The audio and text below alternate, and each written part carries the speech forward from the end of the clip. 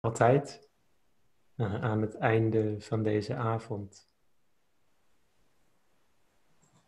Het verhaal van vandaag is een heel oud en bijna universeel verteld verhaal. Wacht even hoor, dan moet ik. Ah, ja. En dat is, uh, ik heb er zelfs een keer een PowerPoint van gemaakt. Dit is al een tijdje terug. Over drie dieren. En deze drie dieren, dat zijn de olifant, de aap en de patrijs. Hmm. Je hebt wel, misschien wel eens gehoord van de fabels van La Fontaine. Ja. Kennen jullie de fabels van La Fontaine? Nee. Nee? Nee. nee. Je hebt uh, zo van die verhalen van, uh, van fabels, wijze fabels over dieren die elkaar ontmoeten en zo. En dan de een de houdt de ander voor de gek en dat soort zaken. Het bekendste is natuurlijk het verhaal van de haas en de... Uh, wat was het? De haas en het schildpad. En uiteindelijk, uh, ze gaan een race en uiteindelijk wordt het schildpad, is, de, is, is, is de, de haas uiteindelijk, wint, wint hij van de haas, omdat de haas telkens uh, ja, onrustig is en nooit eens een keer zich bij zijn doel houdt. En uiteindelijk weet de haas toch te winnen. Of sorry, weet het schildpad toch te winnen. en dat zijn de voorbeeld van, van voorbeelden van uh, morele vertellingen. En heel veel van die verhalen komen niet oorspronkelijk uit, um, uit Frankrijk of Nederland, maar die komen oorspronkelijk van Aesopus. Uh, dat was een Griek. Pardon.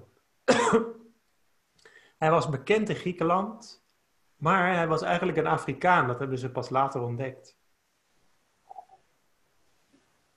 Dat is een van de eerste zwarte auteurs die bekend is geworden in de geschiedenis. En de meeste morele fabels van het Westen komen dus uiteindelijk uit Afrika. maar de, heel veel van die verhalen komen niet uit de Afrikaanse traditie zozeer. Want hij kwam wel daar vandaan, maar hij heeft die verhalen niet van. Maar kwamen heel vaak uit Azië. En soms ook uit het boeddhisme. Dus heel veel van de verhalen die we kennen in het Westen, morele verhalen, die we wel eens aan onze kinderen vertellen, komen soms uit Azië. Of uit uh, boeddhistische traditie of de hindoe-traditie. Traditioneel is de, uh, het verhaal van de patrijs, de olifant en de aap is een heel belangrijk verhaal in de opvoeding van kinderen in boeddhistische landen. En staat bekend als de Titira Jataka. Een Jataka is het woord voor een verhaal dat gaat over, uh, is meestal een beetje een morele vertelling en dat gaat heel vaak ook over een vorig leven van de Boeddha. En de, in die, in, op uh, oude monumenten van duizenden jaar geleden zie je dat ook vaak nog terug, die verhalen. En in Bhutan is het zo'n belangrijk verhaal dat het een nationaal symbool is geworden. Ik zal jullie het even laten zien. Dit is het nationale symbool van Bhutan. Het is niet de nationale vlag, maar het is in elk, zo'n beetje in elk huishouden van een Bhutanees Weet u, weet u waar Bhutan ligt? Ja. Bhutan ligt zo uh, in de omgeving van India, zullen we maar zeggen. En uh, deze vier dieren, die zijn dus dezelfde dieren, met één erbij nog, die ook in de onze traditie van Thailand worden verteld. Dus het is hetzelfde verhaal. Ook uh, in de, bijvoorbeeld zelfs in de Tibetaanse tempel hier in Nederland, de grootste Tibetaanse tempel hier in Nederland, zie je een uh, afbeelding terug van deze vier dieren in de hoofdzaal waar er wordt gemediteerd. En, uh, dus het is een heel universeel symbool in het boeddhisme. En het was ook een, een van de belangrijkste verhalen die Lompo, onze meditatieleraar en meester van de begin 20e eeuw, die deze verhaal, dit verhaal vaak vertelde aan uh, zijn jonge monniken die nog kind waren. Maar goed, die waren novice, dat waren niet uh, echt uh, volgroeide monniken. Um, en het heet in Bhutan de Vier Vrienden. En het is ook in het Westen bekend onder, in de verhalenbundel van de gebroeders Grimm als de Bremer stadsmuzikanten. Misschien heb je er wel eens van gehoord. Hier zie je nog een tweede versie dezelfde dieren, maar je ziet dat er dus in de Bhutanese versie staat er, staat er nog een haas bij. En bij ons is er geen haas in de Thaise traditie. Alleen een patrijs, een aap en een olifant. Hier nog een derde versie. Het is zo'n belangrijk symbool dat er vroeger op de oudste bankbiljetten van Tibet stond ook deze, dit verhaal te zien. Dus dat is geen bankbiljet, maar bankbiljetten moet je maar eventjes online voor gaan zoeken. Dit is het oude verhaal van, de, van de, de westerse versie, de Bremer stadsmuzikanten. Het is ook het nationaal symbool van Bremen, of hoe noem je dat? Ja, zo heet het toch, Bremen, de Duitse stad. Hmm. Goed, het verhaal begint als volgt. Er waren verschillende monniken die zouden samen gaan afreizen. Die gingen afreizen naar een belangrijke klooster. Uh, waar ze zouden gaan overnachten. En daar zou de Boeddha komen om les te geven. Dit was in de tijd van de Boeddha. Dus dit is het oorspronkelijke, of het een van de oudste versies van het verhaal, zoals die in boeddhisme kan worden gevonden. En er waren een aantal wat minder beleefde, minder goed gemanierde monniken daaronder. En uh, die, zaten, die bedachten, als we nu heel snel zijn uh, en heel snel reizen, dan kunnen we misschien de beste slaapplaatsen krijgen in het klooster. En de andere monniken die kunnen dan ergens anders gaan slapen, maar wij hebben de beste slaapplaatsen. En uiteindelijk uh, leidde dat ertoe dat, uh, dat zij dus uh, gingen slapen in het klooster waar ze op hun, hun, aandacht op, waar ze op gefocust waren, waar de Boeddha zou lesgeven. Met als gevolg dat omdat alle slaapplaatsen al vol waren, dat een aantal hele belangrijke monniken en zo, die moesten gewoon buiten slapen onder, ja, onder de blote hemel. En de Boeddha die zag dat en die vond dat eigenlijk niet echt beleefd. Die vond dat men in ieder geval elkaar moest respecteren, meer dan dit. En dus vertelde de Boeddha een verhaal als illustratie. En het verhaal ging over drie dieren. En deze drie dieren waren een olifant, een aap en een patrijs. En de olifant zie je hier alleen de buik van, maar daar kom ik zo op terug.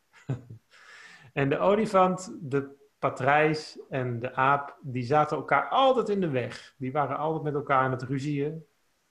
Dus uh, soms dan uh, zei de, de, olifant, die schudde naar de boom, zodat de aap uit de boom viel.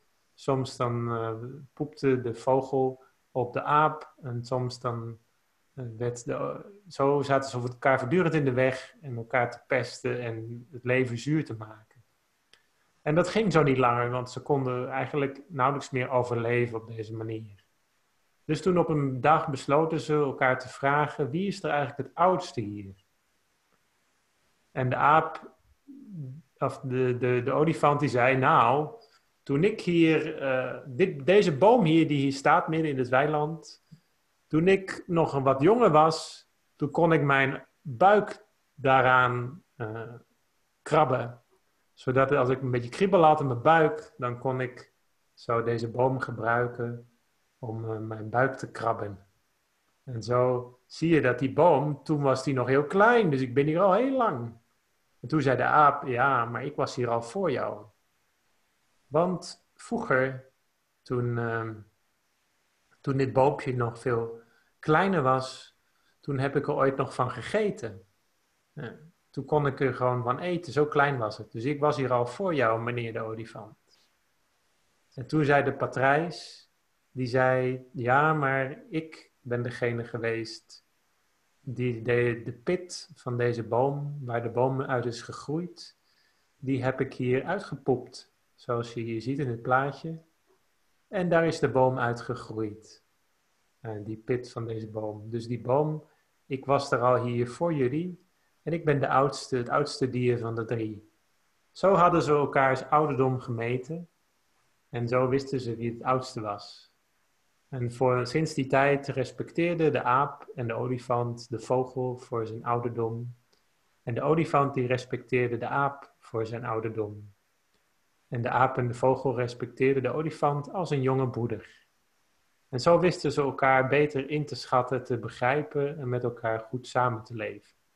En voortaan maakten ze met elkaar de afspraak dat als ze vruchten gingen plukken uit de boom, dan gingen ze gewoon op elkaar klimmen, zodat ze altijd de beste vruchten konden krijgen. En zo wisten ze te overleven en altijd goed samen te werken, in plaats van in elkaar in de weg te zitten. Hm. Ondanks dat deze Tibetaanse of Bhutanese schilder waarschijnlijk nog nooit een aap heeft gezien, is het een hele mooie illustratie. Dus uh, we zien hier heel duidelijk het idee van samenwerking. En in het westerse versie van het verhaal klimmen de dieren op elkaars rug en maken daarmee een heel angstwekkend gezicht, of een heel griezelig gezicht om te zien, waardoor er een inbreker in het huis uit het huis wegrent, omdat hij die vier dieren op hem ziet afkomen. En ik vond als kind dit verhaal zo mooi dat ik het nog een keertje helemaal heb opgeschreven en verteld heb uh, toen ik een spreekbeurt had in de klas. maar dat heeft er niks mee te maken. En uh, dit verhaal is dus heel bekend in de westerse traditie, maar het, uh, in, in alle tradities in, in, het, in, in, de wereld. Maar het is ook een illustratie van hoe we met een harmonie met elkaar kunnen omgaan.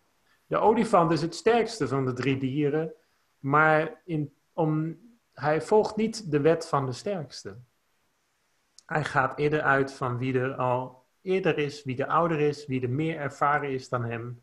Met andere woorden, dit verhaal illustreert eigenlijk dat we oog moeten hebben voor ouderdom en wijsheid. Meer dan wie de, het recht van de sterkste heeft. En dat is wel een soort, uh, een soort van oogwenk en een soort van richtlijn die we kunnen gebruiken voor economie, voor een inrichting van onze samenleving en voor ons dagelijkse omgang met mensen. Zo heeft iemand ooit, een bekende schrijver of een, een, een, goede wijze schrijver heeft ooit gezegd dat de beschaving van de mensheid erin, zit hoeveel respect we nog hebben voor de oudere mensen om ons heen. En ik vind het zelf wel een moeilijk punt, want uh, uh, soms dan zien we, de, zien we oudere mensen wel eens over het hoofd. En dat kan iedereen wel eens overkomen. En we moeten dat proberen tegen te gaan, want oudere mensen kunnen ons heel veel vertellen en we kunnen heel veel van hen leren vaak. En um, dit verhaal illustreert ook uh, de, de, de, dat, um, ja, dat we in harmonie heel goed met elkaar kunnen omgaan en samenwerken. En dat is waarom het in Bhutan een heel belangrijk verhaal wordt gevonden. En het sluit natuurlijk ook uit bij hun nationaal ideaal van het, uh, hoe noem je dat, bruto nationaal geluk. Misschien heb je er wel eens van gehoord. Bhutan is e-, het enige land ter wereld die het bruto nationaal product daar niet in gelooft, maar gelooft in het meten van het bruto nationaal geluk en dat ook als een nationaal beleid bijhoudt. En daaronder vallen allerlei zaken zoals welzijn, uh, maar ook uh, dingen zoals zorg voor het milieu en dergelijke. Het is een heel ander meetinstrument en het heeft uh, heel veel aandacht gekregen in de, ja, door alternatieve economen die dus daar uh, aandacht aan hebben besteed. Uh, als een interessante overheidsbeleid waar we in het Westen nog wat van kunnen leren. Want ja, de, de samenleving draait niet alleen maar op economische productiviteit, maar ook op wat we met die productiviteit doen en hoe we kijken naar de samenleving. Goed, dit is het verhaal van de olifant, de aap en de patrijs. En in de Zuid-Aziatische versie ook de haas erbij. En, um, ja, als je er nog meer over wil weten, dan kan ik je wel een keertje het oorspronkelijke verhaal sturen uh, over de e-mail of iets dergelijks. Maar dit verhaal is in ieder geval een mooi verhaal om over na te denken. Dus nog even ter herhaling. In onze traditie heet het de Titira, Jataka, moeilijk te onthouden. Maar in uh, Bhutan en Tibet en ook uh, in andere landen in die omgeving noemen ze het gewoon de vier vrienden. Dus met, Pardon. Dus met deze vier vrienden wil ik jullie vanavond uh, gedag zeggen. Dan zou ik deze avond willen afsluiten.